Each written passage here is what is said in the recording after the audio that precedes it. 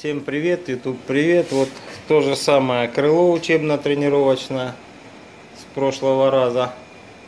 Я это все распрямил, насколько возможно было. Занимались клеем. Теперь в это же самое место бабахнем тем же самым молотком.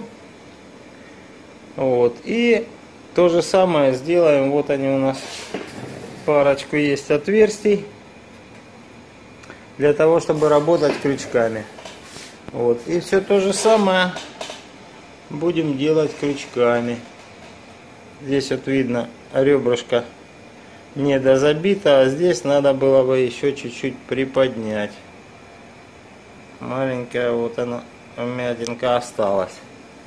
Вот здесь тоже немножко неспокойно. Ну, до фанатизма мы не будем доходить.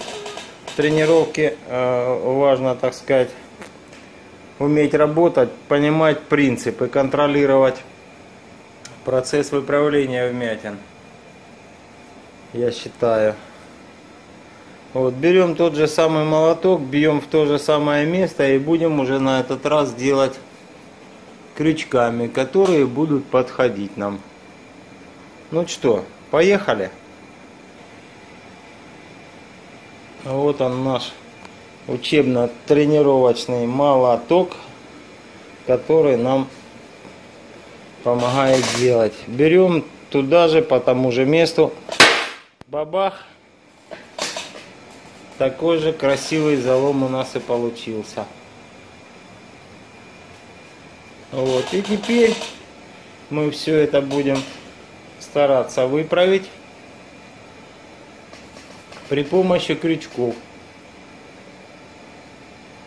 Ну что, поехали. Начинаем тренировку. Тот же самый залом у нас опять же вот обострился. Будем работать. Буду периодически прогревать тут феном, для того, чтобы краска не треснула у нас. Это раз. Вот такой наконечничек обрезиновый. Ну, это молоточек сам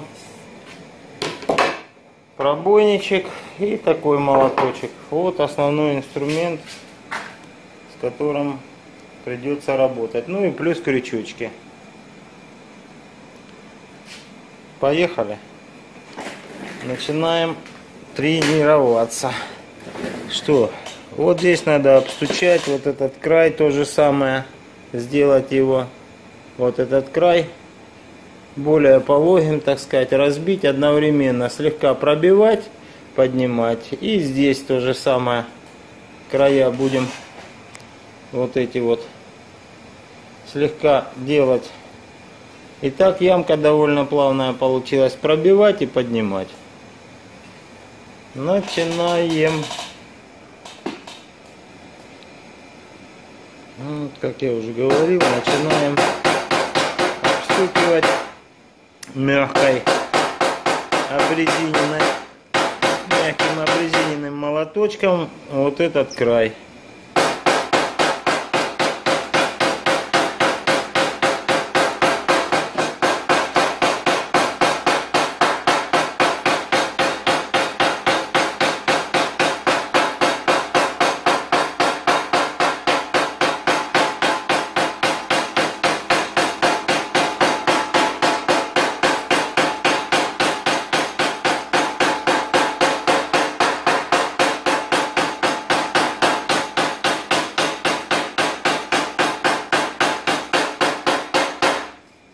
Конечно, выстучать его не получится. Почему? Если я его начну забивать, здесь напряжение дальше не пойдет. А вот эту вот вмятину получится, что мы углубляем. Поэтому проходим вот здесь слегонца.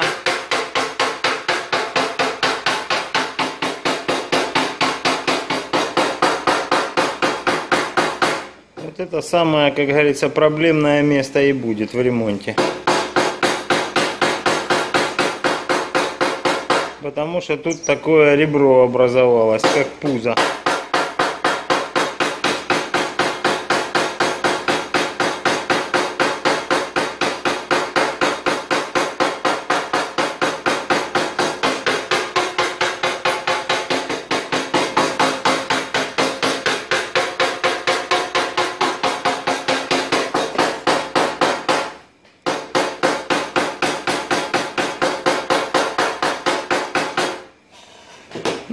Теперь можно взять крючочек и аккуратно начать приподнимать вот эти места. К сожалению, снимать, держать одной рукой, смотреть, прицеливаться и э, работать и снимать у меня не получается. Такой возможности нет. Поэтому буду показывать эпизодически результаты, которые у меня получаются. Пользуюсь я вот таким вот крючочком.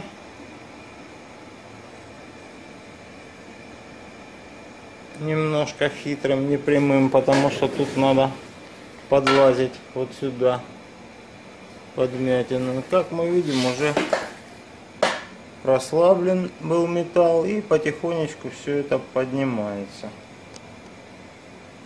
Вот так. Значит, опять же, повторюсь, я никого ничему не учу, я просто показываю, как я тренируюсь. Потому что ребята задают вопросы, как, чего вы добились, достигли. Да все очень просто, ребят.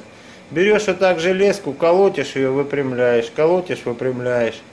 И учишься на своих собственных ошибках.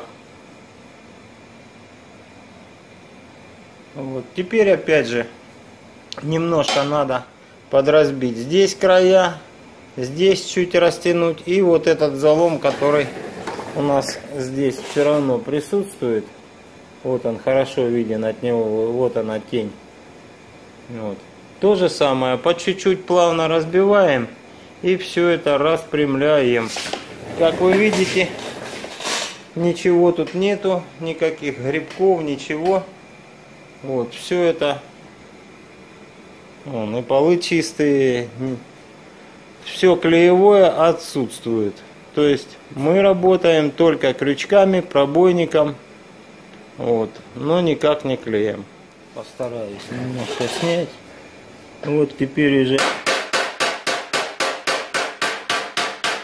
более грязная работа пошла. Здесь я бью вот таким металлическим уже наконечником. Потому что резиновый он на ребре не очень эффективный.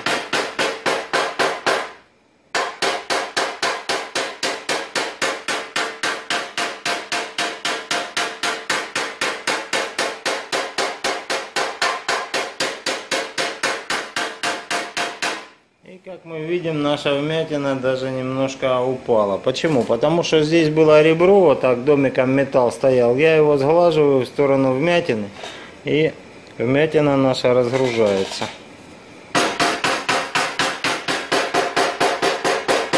Наш залом плавненько распрямляется.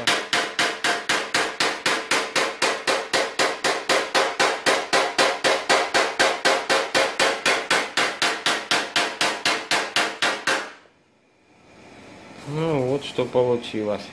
Уже у нас вот здесь такое ребро есть, но оно не такое явное. Вот, чуть-чуть его разбил. Опять же, здесь то же самое. Понемножку пройдемся. Как бы подразгладим края.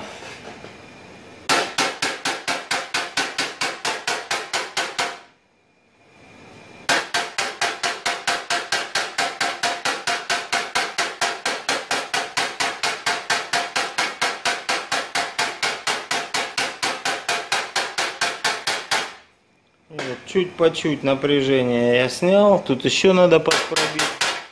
Вот, опять берем крючочек и потихонечку, помаленечку берем, поднимаем.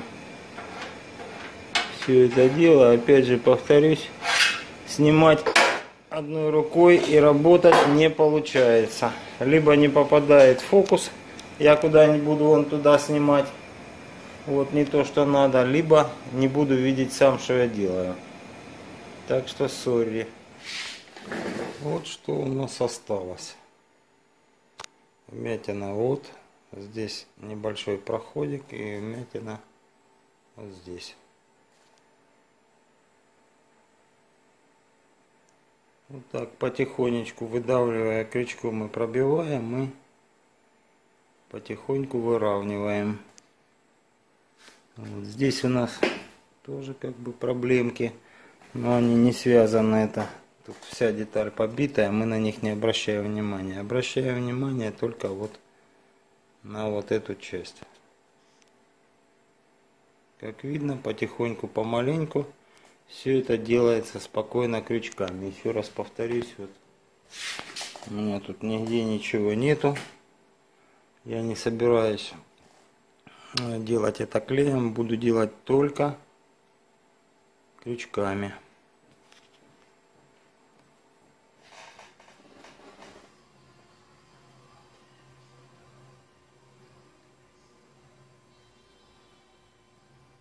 Он взял полировальничек, немножко полирнул, так, чтобы было хорошо видно. Вот, линия еще чуть играет, но тут вопрос, опять же, скажу, не до фанатизма. Вот, по сравнению с тем, что было и что стало, это земля и небо.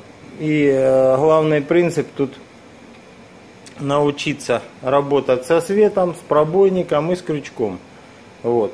Вот эти все маленькие пожеванности, на них я как бы сейчас не обращаю внимания, на них надо обращать внимание, когда занимаешься уже на машине непосредственно. А так на скоряк, так сказать, определять. Да, тут еще можно вот доработать. Вот мятинка, вот она видна. Вот. Но факт тот, что я-то ее уже вижу. Я ее замечаю. Вот. И ее следовало бы доработать. Но на грубую это уже, как говорится, пойдет. Вот видно, линия играет. Тут еще ямки. Вот, и мы это видим, мы это понимаем. Ну а в принципе, в принципе, вот так это бы выглядело на улице.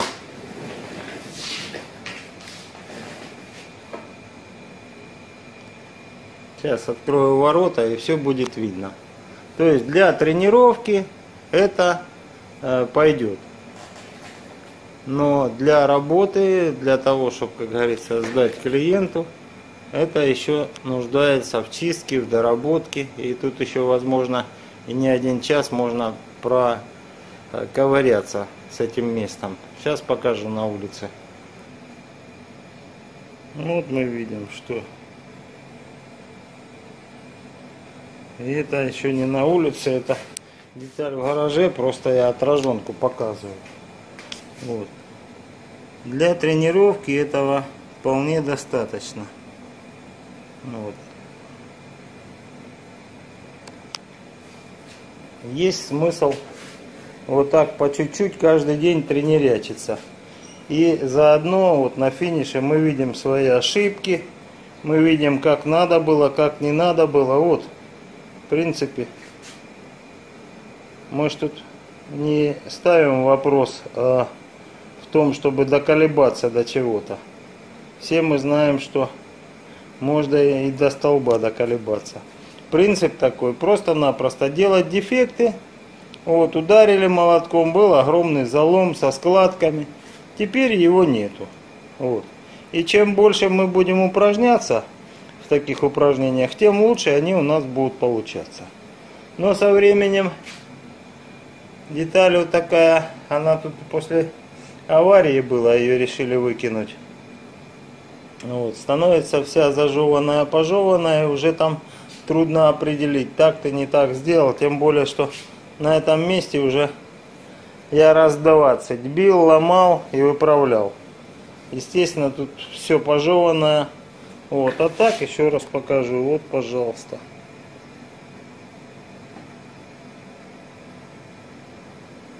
Особо в глаза оно не бросается. Хотя в лампе вот еще раз мы посмотрим. Вот, дефекты мы все видим. И это хорошо. То есть из этого надо делать выводы, что вот тут доработать надо, вот тут, тут пробить, тут поднять, все. И вот так в каждодневных тренировочках мы добиваемся определенных успехов, улучшения качества ремонта, улучшения видения дефекта. Вот. Учимся читать вмятину как ее выправлять, с чего начинать, чем заканчивать и так далее. Вот в чем, так сказать, цель этих всех тренировочек. Пока что на этом все. Вот два видео я выложил. Ребята просили. Покажите, расскажите, как вы тренируетесь. Вот так я тренируюсь. Не на кошках, а на крыльях. И потихоньку, потихоньку, потихоньку учимся на своих ошибках. Но это лучше делать на вот таких вот деталях, нежели взяться и не сделать. Все, всем спасибо, пока-пока. До новых встреч. Задавайте свои вопросы. Смогу, отвечу. Не смогу, честно скажу, что не знаю или не умею.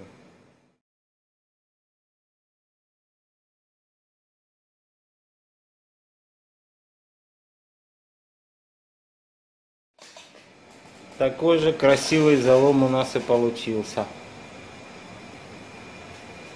Вот, и теперь мы все это будем стараться выправить при помощи крючков.